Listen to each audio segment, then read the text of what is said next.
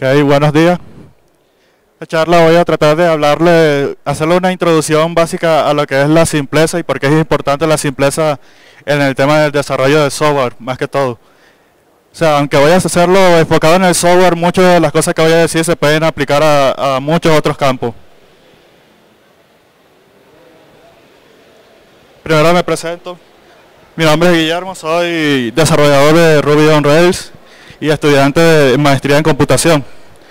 Y en mi tiempo libre me aporto a muchos proyectos open source como son Ruby on Rails, JRuby, Rubinius y muchos otros. Ahí está mi dirección en GitHub por si alguno quiere, quiere visitarla y, enterarse. Y en Twitter me puede encontrar con alguno de esos esas dos cuentas.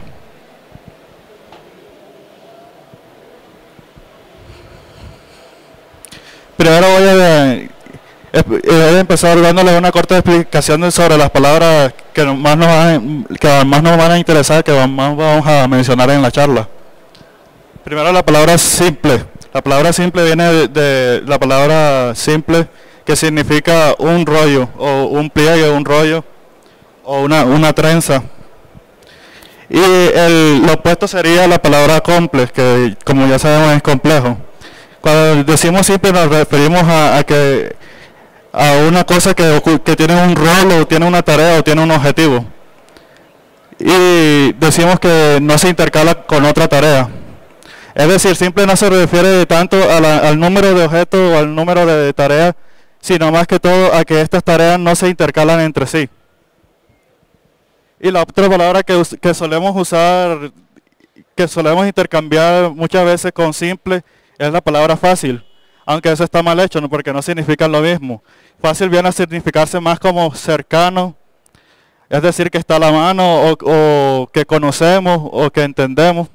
Un ejemplo puede ser que, digamos que yo sé tocar un instrumento, sé tocar la guitarra. Para mí puede ser sencillo poder aprender a tocar, por ejemplo, el bajo, porque yo ya tengo conocimientos, tengo algunos conocimientos básicos. Entonces podemos decir que lo fácil es lo que nos queda familiar, lo que es familiar para nosotros. Y podemos decir que lo fácil es, es relativo. ¿Cómo así? Porque para algunos puede ser fácil tocar la guitarra, pero para otra persona puede que no. En ese sentido podemos decir que puede ser fácil para algunos y, y no para otros, por eso decimos que es relativo. Lo fácil es relativo. ¿Por qué es importante mantener la simpleza en el software? Primero que todo, tenemos que saber que existen unos límites. Nosotros somos seres humanos y tenemos ciertos límites. Uno de esos límites son que solo podemos esperar a ser confiables las cosas que podemos entender. Es decir, esto es de lógica. Nosotros no podemos llegar y, desarrollar un software si no entendemos bien de qué se trata. El problema. La segunda sería que solo podemos considerar pocas cosas de manera simultánea. simultánea. Es decir, cuando nosotros estamos tratando de analizar un sistema o analizar parte de un programa, se nos facilita mucho si lo hacemos de componentes individuales. Si tenemos dos componentes que se intercalan entre sí, es decir, que no son simples, nos va a tocar llegar y analizar eh, los componentes en conjunto. Que eso es lo que dice aquí en la tercera, que las cosas entrelazadas debemos considerarlas juntas. Es decir, si eh, tenemos dos componentes que están muy ligados en nuestro sistema, es necesario que tengamos que analizarlos juntos, que no podemos analizar uno sin tener en cuenta el otro. Y por último, algo que ocurre muy frecuentemente es que la complejidad quebranta el entendimiento. Es decir, que a nosotros se nos va a dificultar muchísimo poder entender bien las cosas que son complejas. Y todos esos cuatro principios que dije se pueden sintetizar en esta frase que dice Dallistra, un importante informático, un importante matemático, que seguramente algunos de ustedes conocen. Eh, Dallistra dice que la simplicidad es un requisito para la confiabilidad. Es decir, es muy complicado que nosotros llegamos a hacer software confiable si dicho software no es simple. Pero ¿por qué, ¿por qué solemos elegir la complejidad? Porque resulta y pasa que hay muchos programas o muchos frameworks o muchas librerías que son complejas, pero que nos traen beneficios. Entonces, ¿cuáles son algunos de esos beneficios?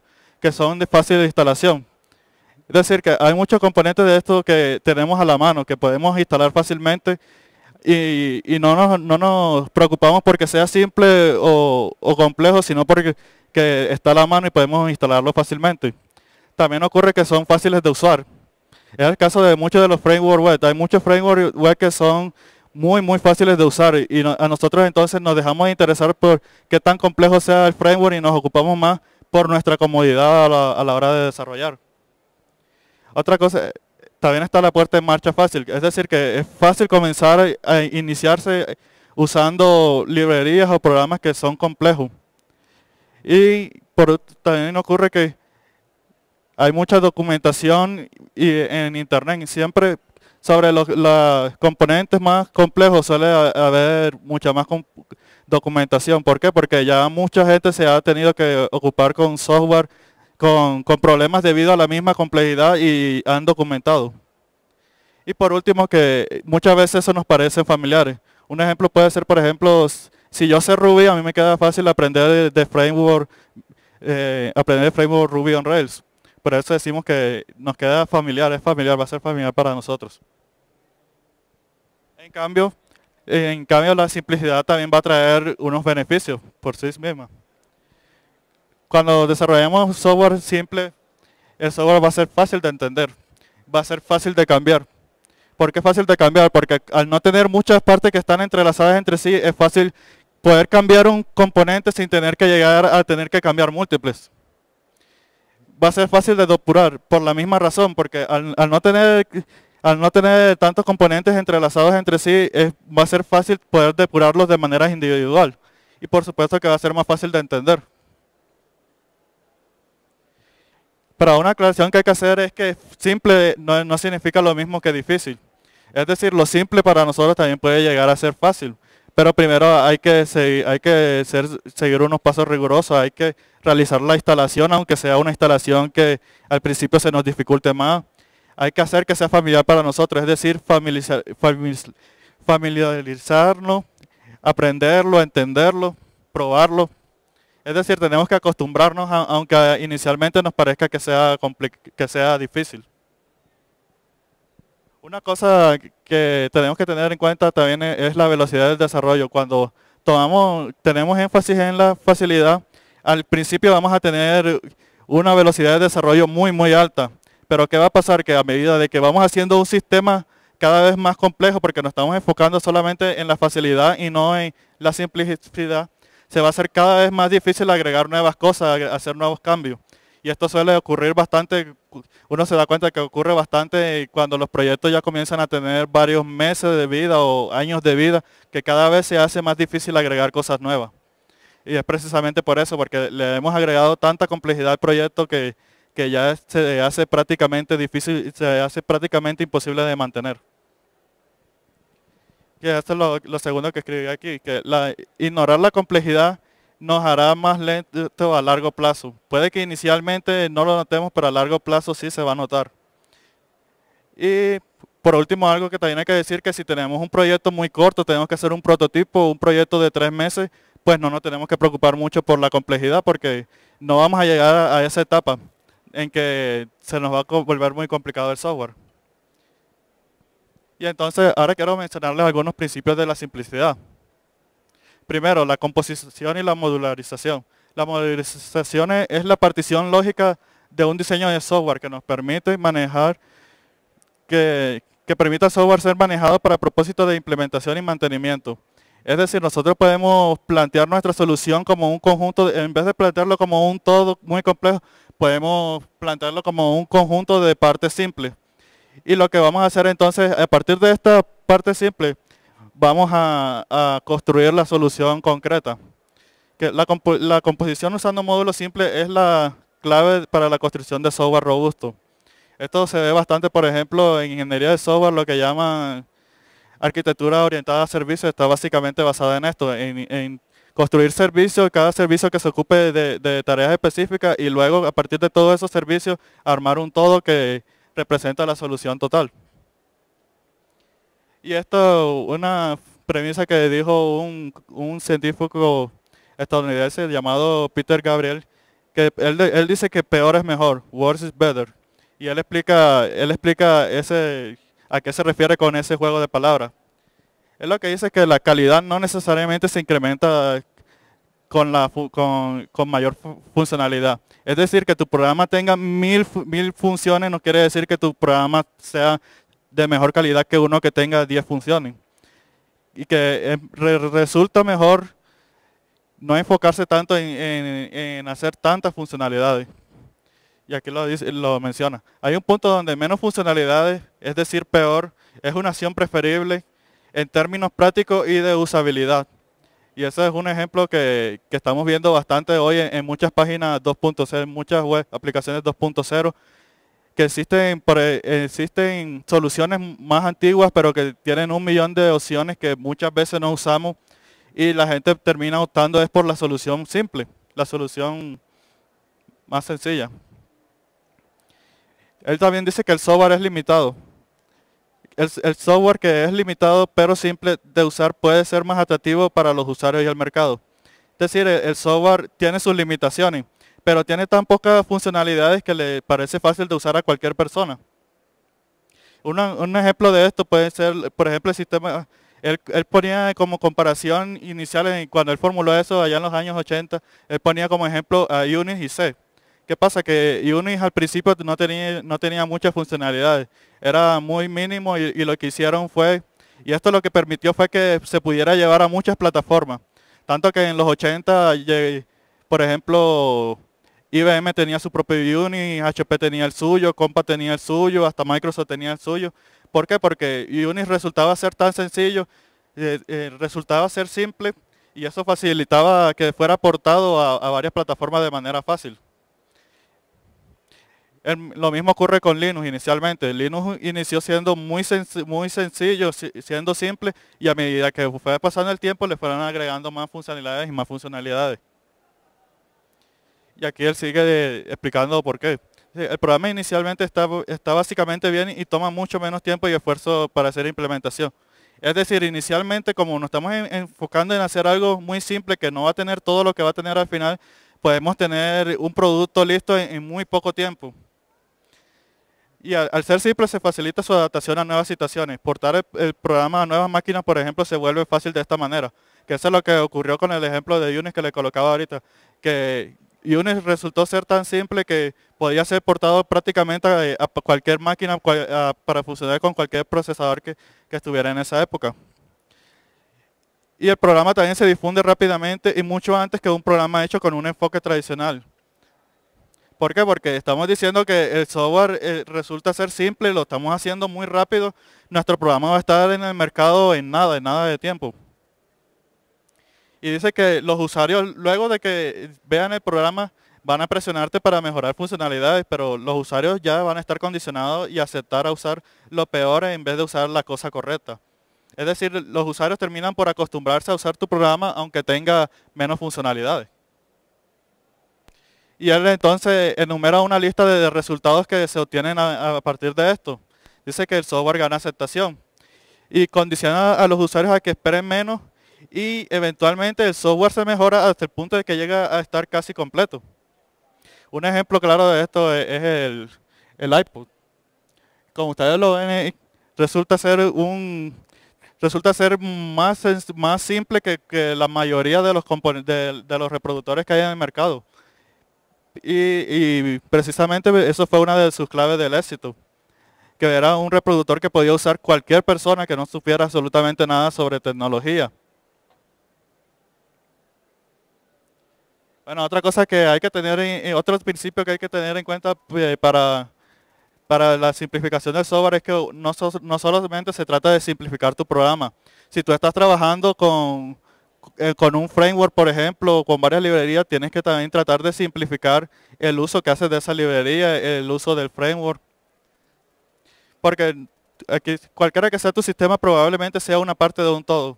Lo ideal es reducir el número y el tamaño de parte de todo, no solamente en el dominio de tu propio proyecto. Es decir, tu proyecto va a tener unas dependencias, entonces lo ideal también sería que tú puedas minimizar el número de dependencias. Simplifica en lo posible el framework que usas y el número de dependencias en tu proyecto.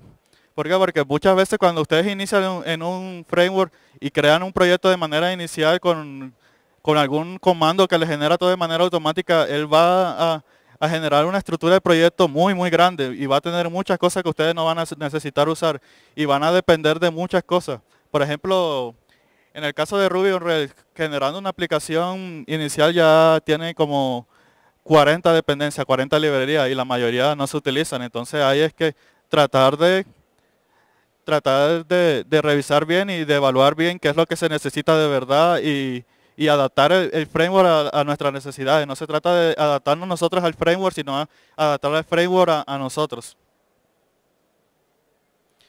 Otra, otra manera de simplificar el, todo es no agregar código que duplique funcionalidades existentes. Y los cambios deben ser idealmente sustrativos, es decir, colapsar que, cosas que tengan características en una sola o eliminar configuraciones extra. Es decir, tratar de simplificar el número de, configuraciones que tengamos que hacer en el proyecto y fusionar los componentes que nosotros veamos que se estén solapando. Un ejemplo, aquí pongo un par de ejemplos. Es mejor guardar configuraciones en un sistema de control de versión como Git en vez de usar un nuevo servicio super cool que, que descubra las configuraciones a través de un servidor remoto es mejor mantenerlo mantener simple en vez de tratar de, agregar complejidad extra que no vamos a necesitar al proyecto. Y otro ejemplo es que mejor usamos una librería JSON que ya tenemos en nuestra aplicación que agregar una nueva librería que nos pareció super cool, que salió ayer eh, en internet, que entonces hay que usarla porque, eh, es lo último. Entonces esa no es la idea. La idea es tratar de reusar siempre lo que ya tenemos para no tener que agregar, ir agregando cosas de más que, a, la final no nos van a beneficiar mucho. Pero hay una excepción, aquí pongo, a menos de que se tenga planeado reemplazar totalmente la antigua. Y aquí menciona algunas de, las leyes de simplicidad, que, que nombró que, o que formuló un diseñador de MIT, que me parecieron interesantes y por eso se las traigo. Él decía que las leyes para tener, él tiene 10 leyes para la simplicidad. La primera es reducir. Es decir, trata de reducir tu sistema, cualquiera que sea. No se trata solamente de sistemas informáticos. Estas leyes como tal están enfocadas a cualquier tipo de sistema, de, o máquinas o, productos o servicios. Decía, eh, la primera ley es reducir. Es decir, tratar de reducir los componentes que se usan en, los componentes de, de la aplicación, del sistema. Segundo es organizar, que lo que tenemos que esté organizado de tal manera de que aunque sea mucho parezca ser poco por el orden que le damos. Decía que el tiempo, las cosas, las cosas que llevan menos tiempo parecen menos complejas. Y hablaba de aprendizaje, que es importante aprender las cosas para poder aprender las cosas para poder darle para que nos parezcan simples. Y hay que, hay que la, quinta es la diferencia, es decir, hay que conocer la diferencia entre lo que es simple y lo que es complejo. Sexto, el, contexto. Hay que tener también en cuenta el contexto en el que se mueve nuestra aplicación para decidir qué es lo que es de verdad simple y lo que es complejo. La emoción. Hay que tener en cuenta la emoción que nos genera saber, la, la emoción que generan los usuarios que las cosas sean simples. como estaba menciona la confianza y como noveno menciona el fracaso, es decir, que puede llevar puede darse el caso de que sea totalmente imposible, de que ya ya que ya sea imposible que se pueda simplificar el sistema. Y por décimo, él dice que es la ley más importante, ahorita se la voy a mostrar. Entonces, él, voy a detallarle pues, algunas de esas leyes. La primera es la de reducir. La manera más simple de, alcanzar la simplicidad es a través de la reducción analítica. Es decir, nosotros podemos reducir las características del sistema, pero no se trata de reducir, no se trata de quitar cosas por quitarlas, sino que debemos hacer un análisis de por qué vamos a quitar la cosa o de si el usuario de verdad lo va a necesitar o si no. Un ejemplo puede ser, por ejemplo, los, reproductores de DVD. Nosotros podemos decir que no, de, de un reproductor de DVD lo único que necesita es el botón de play pero va a haber un usuario que dice no, que él necesita el botón para atrasar, adelantar, entonces no podemos decidir quitar esos botones de atrasar y de adelantar porque queremos, porque nosotros solo necesitamos el de ejecutar, el de play. Entonces tenemos que hacer una pregunta fundamental, eh, que es, es en dónde está el balance entre la simplicidad, es decir, qué tan simple podemos hacer la cosa y la complejidad, es decir, qué tan compleja debe ser por obligación. El problema entonces viene a ser eh, a, decidir qué es lo que merece vivir y qué es lo que, que lo que merece ser sacrificado o que debe morir. Porque por un lado queremos que el, el producto sea fácil de usar y por otro queremos que sea suficiente para todos los usuarios. Y entonces después de hacer esta reducción, si nos damos cuenta de que aún el sistema nos parece muy complejo, entonces lo que vamos a aplicar son otras otras tres, estos tres ítems que son encoger, ocultar y expresar calidad. ¿Cómo así encoger? Un ejemplo que puede ser, por ejemplo, las computadoras. Las computadoras cuando iniciaron en los años 40, años 50, podían ocupar el tamaño de un, cuarto completo, de un salón completo eran aparatos muy, muy, muy complejos. Entonces lo que hicieron fue, con la inversión de, del microchip y del circuito integrado, cada vez se fue reduciendo cada vez más las computadoras. Se fueron reduciendo en tamaño. Hasta el punto que hoy tenemos una, eh, hoy podemos decir prácticamente que nuestros teléfonos celulares son computadoras. Pero eso no quiere decir que nuestros teléfonos no sean complejos. Eso quiere decir es que los teléfonos siguen siendo, siguen siendo muy, muy complejos pero lo que hemos hecho es que esa complejidad se ha, se ha reducido mucho, se ha encogido, se ha encogido. Otra, otra cosa que podemos hacer es ocultar, es decir, ocultar los componentes que no vayamos a que los usuarios usen de manera menos común. Un ejemplo claro de esto son las interfaces de, usuario que tienen un menú. Por ejemplo, en la parte del menú Ustedes, ustedes pueden tener un programa, un procesador de texto, por ejemplo, que tiene cientos de funciones, pero ustedes no le van a mostrar todas esas funciones al usuario. Ustedes lo que hacen es encerrar esas funciones en, ítems dentro de, los menús. De esa manera parece que fueran menos complejos, pero en realidad sigue teniendo igual complejitud, pero esa complejitud lo que estamos haciendo es ocultándosela al usuario. Y por último, es que debemos expresar calidad. Después de, de encoger y de encoger las cosas, y, de, ocultar componentes, nuestro sistema va a parecer de, menos calidad o que hace menos. Entonces lo que debemos hacer es demostrarle al usuario que tiene mayor calidad, ya sea con marketing o, demostrándole de verdad que tiene una gran calidad. Es decir, que, la calidad del producto se vea en, otros componentes diferentes a, los que hemos ocultado. Y aquí pongo un ejemplo. Los teléfonos celulares en forma de slide muchas veces hacen eso, lo que hacen es ocultar la complejidad. Que básicamente tenemos el teléfono y lo arrastramos y, ahí muestra el resto de componentes que están ocultos. Y otro ejemplo que puse aquí fue este computador MacBook. Es un Power, PowerBook de los antiguos. Que tenían estos computadores que expresaban mucha calidad, eh, eh, o sea, expresaban o le daban a conocer al usuario una sensación de calidad.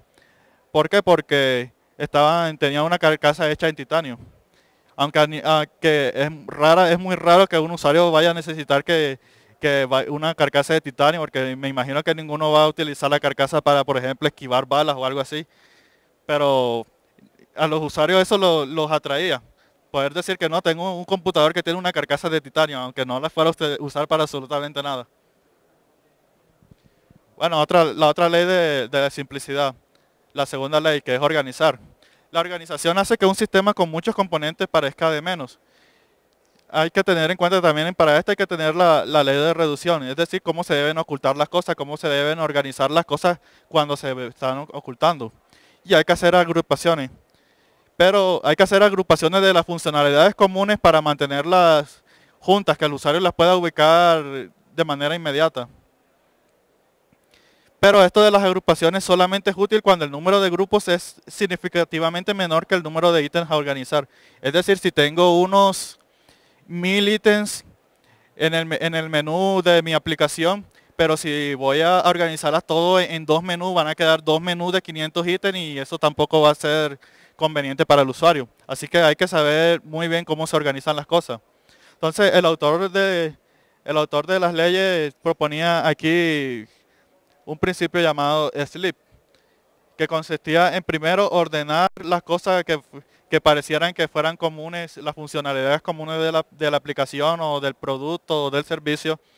Primero se ordenan, después las etiquetas, las etiquetas es decir, las, las agrupa y les coloca un nombre común al grupo. Luego las integra, es decir, que todas estas partes se pueden integrar en el sistema total. Y por último la prioritiza, es decir, a, algunos le tiene que dar mayor importancia, para, es decir, para, para mostrársela al usuario, hay que darle, hay que mostrarle al usuario lo que él va a llegar a necesitar más comúnmente. Pero eso es que hay que darle una priorización a las cosas. Y un ejemplo de organización es esta. Esos son los controles que usaban los iPods. El iPod original usaba este que, está aquí, el de allá arriba. Tenía una serie de botones y aquí en el centro tenía un círculo y a muchos usuarios le encantó esa, interfaz. Luego sacaron los de segunda generación que ya tuvieron quejas de que había, por ejemplo, usuarios que tenían los dedos muy grandes y entonces no podían presionar los botones este y lo que hicieron fue reorganizarlo así. Entonces, ¿qué sucedió? Este a esta segunda a esta segunda revisión que hicieron del iPod le fue muy mal, a los usuarios no les gustó para nada ese cambio. ¿Por qué? Porque antes ellos lo veían todo como todo, todo junto, todo agrupado, todo organizado, y ahora todo en la segunda versión ya lo veían todo, todo separado. Eso no les, no les agradó. Y por último, en la tercera revisión llegaron a un, a un diseño mucho mejor, mucho más simple. ¿Qué hicieron? Organizaron todo en un solo botón y, así se libraban de inconvenientes, ya no tenían inconveniente por, por el que tuviera, tuvieron que sacar la segunda versión. Y aquí esto, se, esto fue una encuesta de, de qué tanto le gustó a los usuarios y los usuarios se inclinaron definitivamente por la última versión. Y la otra ley de simplicidad que, que hay que tener muy en cuenta es la del tiempo. Es decir, el ahorro en tiempo da la sensación de simplicidad, que al usuario a nadie le gusta tener que esperar, a nadie le gusta tener que esperar en la fila del banco, a nadie le gusta tener que esperar para entrar a un concierto, a nadie, al usuario en general, sea de un servicio o un producto, no le gusta esperar. Así como a los usuarios en una aplicación web no les gusta esperar a que la página tenga que cargar todo para comenzar a ver contenido. Entonces, cuando cualquier interacción con producto o servicio sucede rápidamente, atribuimos esta eficiencia a la simplicidad. Es decir, cuando el usuario se da cuenta de que algo carga rápido a que puede ver o puede obtener lo que, lo que quiere de manera inmediata, a él enseguida le va a parecer que eso es un sistema simple. Aunque realmente no sepa las razones por debajo o, por qué ocurre esto, para él la, la sensación de que él va a tener es que eso se debe a la simplicidad. Y entonces para, para poder aplicar el, ahorro en tiempo tienen que, podemos aplicar los dos principios que dijimos anteriormente en la ley de la reducción, que es encoger y que es ocultar.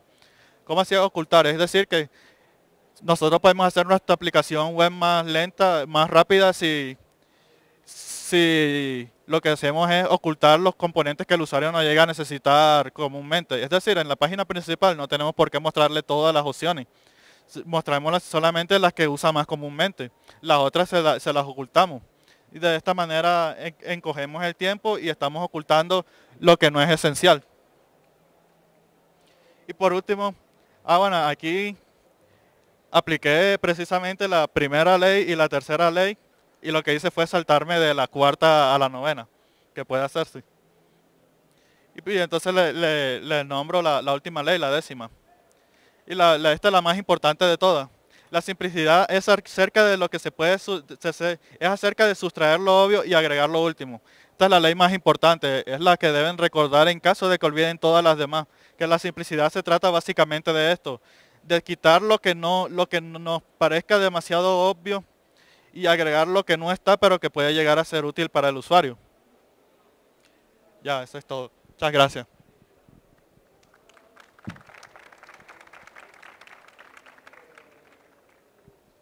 ¿Alguno tiene una, pregunta? Mm. No, entonces vamos ahora, vamos a regalar un libro. Yo creo que vamos a regalar precisamente el libro donde mencionan las estas 10 leyes de la simplicidad. Y entonces ahora alguna pregunta para ver quién puede responderla. Bueno, creo que me den algún otro ejemplo de simplicidad, de algo que a ustedes les parezca simple y expliquen las razones por qué. ¿Alguno?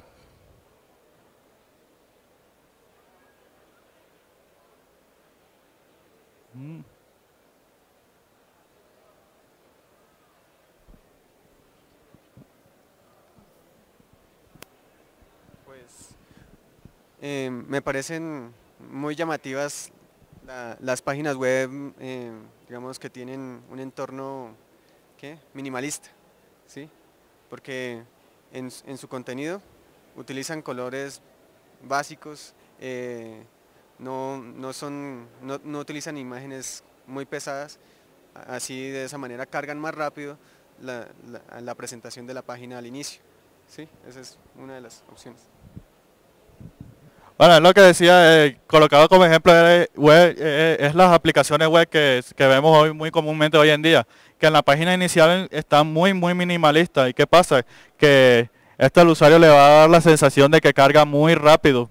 Y esto es muy importante porque si el, si el usuario ve que una página dura cargando más de 10 segundos, lo que va a hacer es, va a tratar de recargarla, va, va a creer que es un problema de su conexión y recargarla, recargarla y no y, no no va a poder darse cuenta de que de que el problema es que es la página está est- eh, el problema está del lado del servidor qué sucede en estos casos cuando cuando un usuario ve que eso ya de entrada le empieza a parecer que tu aplicación web va a ser mala si, si está demorando en cargarse más de 5 segundos, por ejemplo, debido a que la tienes sobrecargada de componentes en la página de inicio, a él ya le va a parecer que la página está mal. Bueno, gracias.